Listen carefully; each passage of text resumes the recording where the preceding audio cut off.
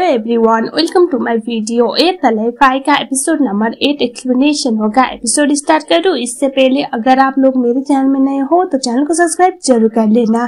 साथ में मुझे ये भी ज़रूर बताओ कि आपको ये ड्रामा कैसा लग रहा है।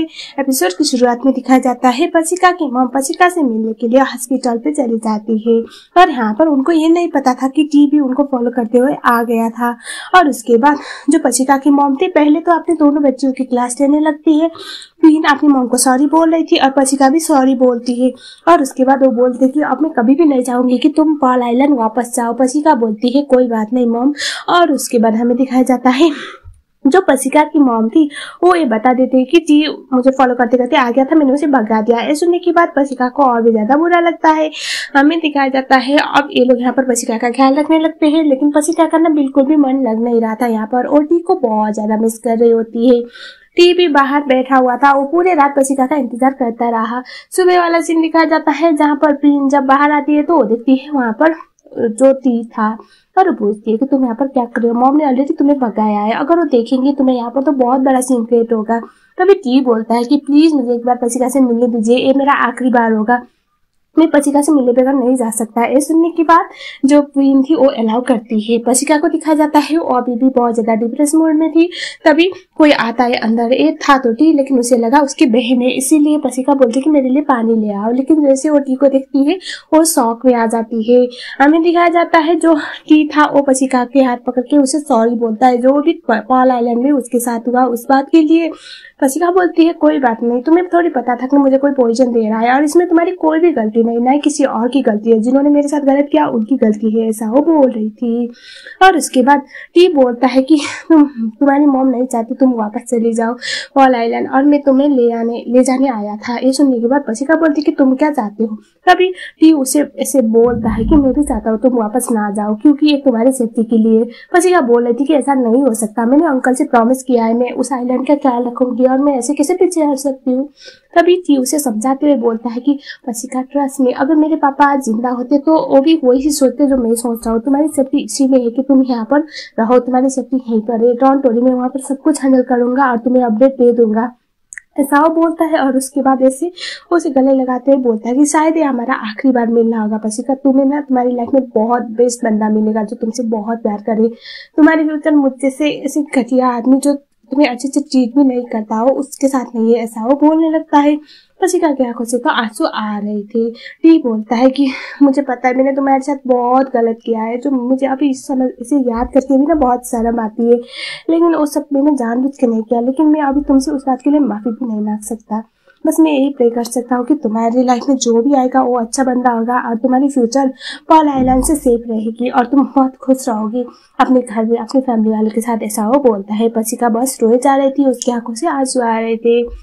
टी उसे बोलता है कि हमारा आखिरी बार साथ होना होगा, इसके बाद कभी नहीं हो पाएँगे, हम लोग साथ बोलता है और उसके बाद वो उसे गुड बाय बोल के से जाने वाला था, उससे तो इन हो ही नहीं पाता और वो आता है पसिका को ऐसे किस करता है? और ये इनकी किस्मत इतनी खराब थी कि इसी टाइम पे पसिका की मम आ जाती है और रोटी को एकदम बाजा मारती है और बहुत ज़्यादा डांटने लगती है।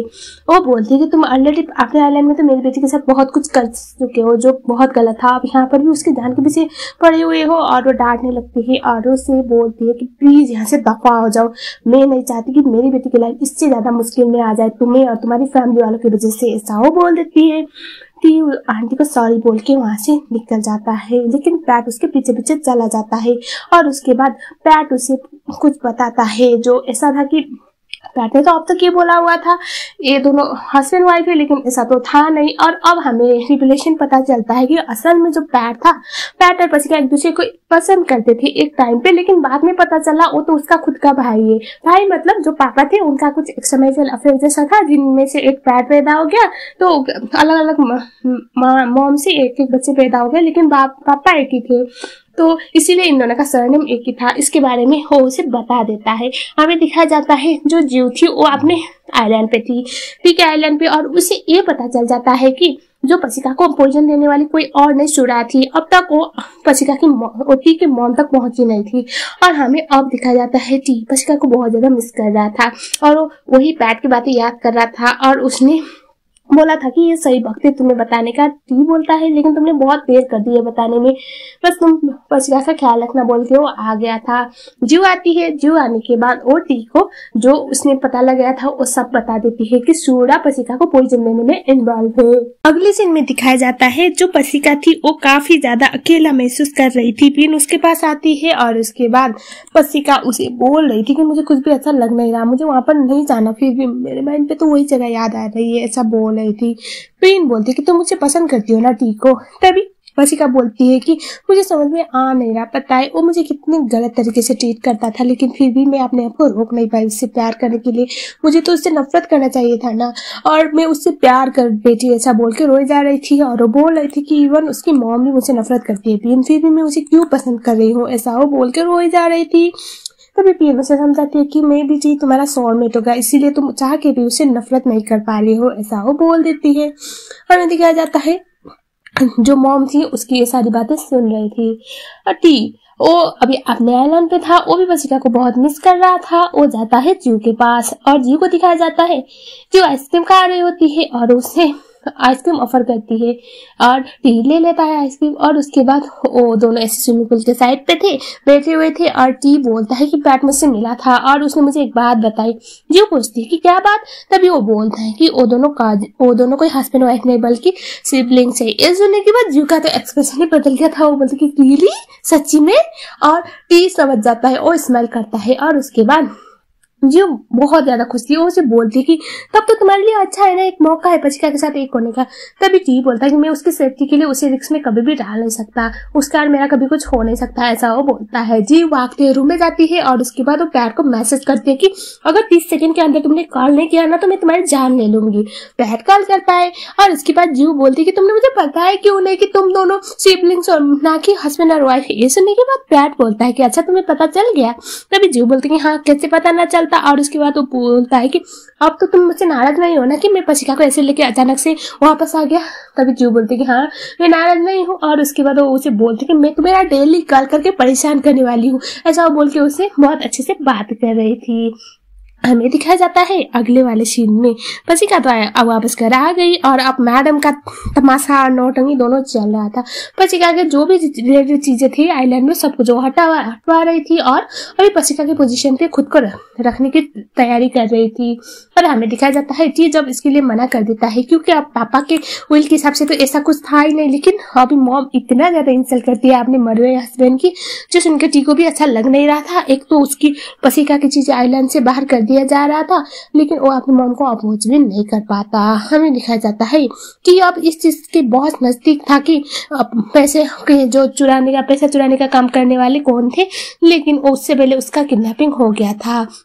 हर पसिका के हाथों से उसी टाइम पे एक बहुत महँगा ग्लास टूट जाता है और उसके दिल की धड़कनें बहुत तेज हो रही थी और उसे ऐसा लगता है कि ज़रूर कुछ तो बात है, कुछ तो गलत हो रहा है। वो जू को कॉल करके टी के बारे में पूछती है, लेकिन जू को भी एग्जैक्ट पता नहीं था कि अभी टी कहाँ पर है, इसीलिए उसे कुछ एग्जैक्ट बता नहीं पाती। टी को दिखाया जाता है, कोई बंदा उसे, ऐसे बाँध के उसके बॉडी पे टाइम बॉम्ब फिट किया हुआ था वो जैसे तैसे करके उससे तो बच जाता है और पसिका को पता चल जाता है इसके बारे में कि हाईलैंड के आसपास नजदीकी कोई फॉरेस्ट पे ऐसे ब्लास्ट ब्लास्ट करवाया था। अब पसीना से रहा नहीं जाता और सुबह ही अपनी मॉम को एक लेटर छोड़ के चली जाती है। ये बोलते हैं कि, मॉम, मैं सब कुछ सही करके वापस आ जाऊँगी और हमें दिखाया जाता है आइलैंड पे। जो टी था, वो तो गायब था और सब लोग काफ़ी परेशान थे। और हमें दिखाया जाता है पसिका जीव से मिलके सब कुछ बता देती है और वो बोलते हैं कि अब हमें किसी भी कीमत पे टी को ढूंढना पड़ेगा। वो बोलती है, ठीक है। और उसके बाद टी को दिखाया जाता है, जो असैसिन उसके पीछे पड़ा हुआ था, उसकी जान लेने के लिए वो टी के साथ फाइट कर रहा होता है और टी के ऊपर वो हावी हो ही जाता है, उससे पहले पसिका पहुँचती है और उसके बाद दोनों मिलकर उसे फाइट करने की ट्राई करते हैं। वो बंदा पसिका को शूट करने वाला था पसिका और टी को और वो एक दूसरे को गले लगाए हुए थे, लेकिन इतने जल्दी इन दोनों का कहानी का खत्म होने वाला था। आ जाता है शेख और उसके बाद शेख उस बंदी के पीछे पड़ता है। लेकिन ये बहुत ताजुब की बात थी कि जो बंदा था, जो भी मार्क्समैन वो बहुत सारे ग्रेनेड आपके साथ अपने आप, अपने साथ लेके आया हुआ था बम ब्लास्ट करने के लिए और वो किया जा रहा था, जो बात की वजह से इससे भी शौक में आ गया था। उसकी जान भी ऑलमोस्ट जाते जाते बची हुई थी। जो पसिका थी वो टी को लेके वापस आती है और टी की सिचुएशन देख के जीव तो शौक हो गई थी। अब ये लोग मिलके ये प्लान बनाते हैं कि अभी टी के साथ जो भी हुआ है ना, उसके बारे में ज़्यादा लोगों को पता चलने नहीं देना है, क्योंकि ऐसा करने से हो क्या रहा था ना कि वो जो भी अटैकर था वो अलर्ट हो रहा था। बस को दिखाया जाता है, रात के टाइम पे आपने दोस्तों के साथ पार्टी कर रही थी, उसके कम की वजह से और इस बात की वजह से वहाँ पर टी थोड़ा दूर से उसे देख रहा था और उसे मैसेज में लिख रहा था कि तुम वापस आ गई वेलकम बैक होम और पसिका बोलते कि यहाँ तो मुझे आना ही था और दोनों एक दूसरे को सारे सारे में बातें कर रहे थे। बेचारा टी, उसे अच्छी तरह से पता है और पसिका को अप्रोच नहीं कर सकता। तो इसी बात की वजह से वो काफ़ी ज़्यादा दूर बनाने की ट्राई कर रहा था पसिका से, लेकिन उससे वो हो नहीं रहा था। हमें दिखाया जाता है, अगले वाले सीन में पसिका को उसके असिस्टेंट के थ्रू पता चलता है कि नालिनी ने तो उसका पोजिशन ले लिया। लेकिन अब अंकल के विल के हिसाब से तो ऐसा कुछ होना कभी भी नहीं था, क्योंकि दो साल तक कोई भी पसिका को अपने पोजिशन से हटा नहीं सकता था। इसीलिए पत्रिका अपने जाती है ऑफ़िस में, नालिनी वहाँ पर पहुँच जाती है और उसे वहाँ से भागने के लिए बोल रही थी। सबसे पहले तो उसे पता भी नहीं था कि अभी पसिका आइलैंड वापस आ गई है। पसिका आंटी को उनका जो हक था, उस याद दिलाती है और लॉयर अंकल को बुलाती है, जो इस कंपनी के लॉयर थे। और अंकल का, विल तो आप लोगों को याद ही होगा, दो साल तक पसिका को कोई भी इस कंपनी से आउट नहीं कर सकता इवन प्रेसिडेंट भी नहीं कर सकता। और दो साल तक यहाँ पर अपनी मन मर्ज़ी से आइलैंड को संभाल सकती थी। वाइस प्रेसिडेंट बन के वही चीज़ें अंकल पढ़ते हैं। और अगर किसी ने कुछ भी करने की ट्राई किया तो वो बंदा यहाँ से आउट होगा सारी प्रॉपर्टी से। और ये सब सुनने के बाद ना, लेने को वहाँ से जाना पड़ता है और उसके बाद वो ठीक है, पास जाके बेलोरामा स्टार्ट करती है कि ऐसा कैसे हो सकता है ब्ला ब्ला ब्ला और वो किसी भी कीमत पे पसिका को यहाँ से हटवाने के लिए बोल रही होती है। टी पहले तो मॉम को समझाने की ट्राई करता है, लेकिन मॉम तो मॉम है, अपनी चुड़ैल वाली हरकतों से बात आ नहीं रही थी। को बहुत गुस्सा आता है और वो बोलता है कि मुझे नहीं लगता पसिका यहाँ आके उसने कुछ भी गलत किया हुआ हो। और लटी आपको अच्छी तरह से पता है, इस आइलैंड को पसिका के अलावा कोई इतने अच्छे से नहीं जान सकता नहीं मैनेज कर सकता है। तो प्लीज़ आप मेरे लिए प्रॉब्लम के मत कीजिए। पसिका यहाँ से कहीं नहीं जाएगी, बोलता है। जो सुनने के बाद नलिनी का तो दिमाग खराब हो गया और वो समझ गई कि अब की उनके बातों पे बिल्कुल भी आने वाला नहीं है। हमें दिखाया जाता है, जो जीव थी, वो फ़ोटोज़ ले रही होती है। पैट उसके कैमरे के सामने आता है और बोलता है कि कैसी हो? सुनने के बाद क्यों बहुत खुश होते उसे गले लगा के बोलते कि हम सो हैप्पी तुम वापस आ गई है, करते हुए। बाद में उसे रियलाइज़ होता है, मैंने तो इसे गले लगाया और वो काफ़ी ऑकवर्ड सा फील कर रही होती है। पैट बोलता है, कोई बात नहीं। और उसे बोल रही थी कि मैंने जानबूझ के नहीं लगाया, गलती से। तो अभी पैट उसे बोलता है कि अगर तुम जानबूझ के मुझे गले लगाती तो भी मुझे फ़र्क नहीं पड़ता। फिर खुशी होता है, ऐसा वो बोलता है। ये कुछ बोल नहीं पाती और वो बोलती कि सच्चे में गलती से लग गया था। और उसे बोलता है कि मुझे अच्छा लगा। मुझे सच सारा सच पता चल गया है, तुम आपसी का सिबलिंग्स हो तो ऐसे बाद वो बोलता है कि चलो कोई बात नहीं एटलीस्ट मेरा तो दाल गलाना, ऐसा वो बोल रहा था। अगले सीन में दिखाया जाता है। जो पसिका थी पसिका और पैट एक दूसरे से बात कर रहे होते हैं, और पैट ने अब तक तो किसी को भी बताया नहीं था, सच। सिवाय टी और जीव को ही पता था कि वो दोनों सिबलिंग्स है और वो नहीं चाहता था किसी को इसके बारे में पता चले।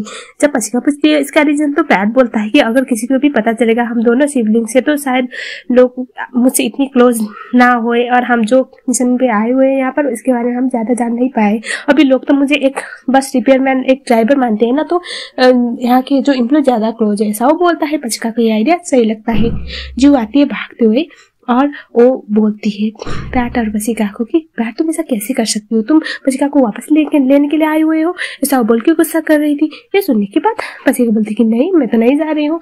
और ये सुनने के बाद उसे गले लगा के बोलती कि हम सोया भी बसिका तुम नहीं जा रही हो। बसिका अजी को देखते हुए बोलते कि, एक बात बताओ, तुम कुछ इसलिए हो कि मैं यहाँ पर रहने वाली हूँ या फिर इसलिए कि मैं रहूँगी तो पैट भी रहेगा? जो कुछ बोल नहीं पाती और वो बोलती कि एक्चुअली मैं तुम हो, इसलिए तो खुश होंगी ना, मुझे पैर से क्या लेना देना ऐसा वो बोलती होती है। सुनने के बाद जो रसिका थे, वो स्मेल करते हुए पैट की तरफ़ देखती है। हमें दिखा जाता है, अगले वाले सीन में पैट जो के पीछे पीछे जा रहा होता है। वो उसे बोल रहा था कि, अब तो तुम्हें सच पता चल गया तो क्या तुम मेरी गर्लफ्रेंड बनोगी? ये सुनने के बाद तो जो तो बहुत नर्वस फील करती है। वो बोलते कि, कैसा बनता है? इतने डायरेक्टली कौन पूछता है? तभी जो पैट था, वो बोलता है कि, मुझे इनडायरेक्ट बात करना नहीं आता। और उसे बोला था कि क्या सच में तो मेरी गर्लफ्रेंड बनोगी? वो उसे कुछ बोले बगैर वहाँ से नर्वस फील करते हुए भाग जाती है। और पैट के मन में एक उम्मीद की रोशनी जाग रही थी जीव के लेकर, क्योंकि वो उसे बहुत ज़्यादा पसंद करने लगा था। अगले सीन में दिखाया जाता है, जी पसिका के वापस आने से काफ़ी खुश था और धीरे धीरे करके वो पसिका के साथ सारी चीज़ें नॉर्मल कर भी रहा था, लेकिन हमें यहाँ पर दिखाया जाता है। जो जी की मोम थी, वो काफ़ी ज़्यादा रो रही होती है और वो पसी का आर्थिक की वजह से जो उन्हें दिक्कत हो रही थी, वो सब अपनी फ्रेंड यानी कि जी की आंटी को बता रही थी। ये देखने के बाद जी को बहुत बुरा लगता है और उसके बाद वो काफ़ी सैड होकर बैठा हुआ था। जीव आती है, उसे पूछती है, क्या हुआ? तो वो जीव को सारा सच बता देता है और वो बोलता है कि, मैं अपनी मोम को इतना ज़्यादा सैड नहीं देख सकता। मैं सोच रहा हूँ, मैं अपशिका को इतना मजबूर करूँगा कि वो मुझे हेट करे और वो मुझसे दूर चले जाए, वरना मैं तो उससे अपने आप से दूर नहीं कर पा रहा ऐसा वो बोलता है, जू तो कुछ बोल ही नहीं पाती। और प्लान के हिसाब से टी और पसिका से काफ़ी ज़्यादा बदतमीजी से बात करने लगता है और उसे बहुत बुरी तरह से ट्रीट करता है। पसिका जब उसे बोलती है कि तुम तो मुझसे प्यार करते थे ना तो वो उसे ये तक बोल देता है कि मैं तुम्हें बेवकूफ़ बना रहा था, मैं तुम्हें कोई प्यार व्यार नहीं करता था। और ये सुनने के बाद पसिका को काफ़ी ज़्यादा बुरा लगता है और पसिका बोलती कि ठीक है, अगर तुम्हारे लिए सब खेले तो कोई बात नहीं। लेकिन एक बात ज़रूर याद रखना कि आज के बाद मैं भी तुम्हारी कोई भी बातों पर परेशान नहीं कर पाऊँगी। और पसिका भी अपने मन को फिर से संभाल लेती है, क्योंकि इस आइलैंड पे वो बहुत कुछ झेल चुकी थी तो ये बात उसके लिए इतनी बड़ी नहीं थी। वो बस डिसाइड करती कि उससे टी से दूर रहना है और हमें दिखाया जाता है आखिरी पार्ट में अभी कंपनी से कुछ पैसे गायब हो गए और वो कुछ पैसे नहीं थे, बल्कि टू बिलियन बार थे, बहुत ज़्यादा अमाउंट और जिसके बारे में उन्हें पता चल गया था और वो भी पता चल गया था कि है कि कुछ मैनेजर्स और वो सब कुछ मिले हुए थे। इसीलिए वो लोग सेक के साथ मिलके इसके बारे में इन्वेस्टिगेट करने लग जाते हैं। सो गाइज़ यहीं पर एपिसोड नंबर एट खत्म हो गया। इसका जो नेक्स्ट पार्ट था, मैं बहुत जल्दी लाऊँगी। उसके लिए आपको करना बस ये होगा कि ज़्यादा से ज़्यादा कमेंट करो ज़्यादा से ज़्यादा मेरे वीडियो को फैलाओ ताकि मैं आप लोगों के एक्सपेक्टेशन भी उतर पाऊँ और मुझे भी थोड़ा मोटिवेशन मिले, जैसे ही ज़्यादा भी हो जाएगा वीडियो पे। चैनल में नए हो तो चैनल को सब्सक्राइब ज़रूर कर लेना। मिलते हैं नेक्स्ट वीडियो में। तब तक के लिए थैंक यू सो मच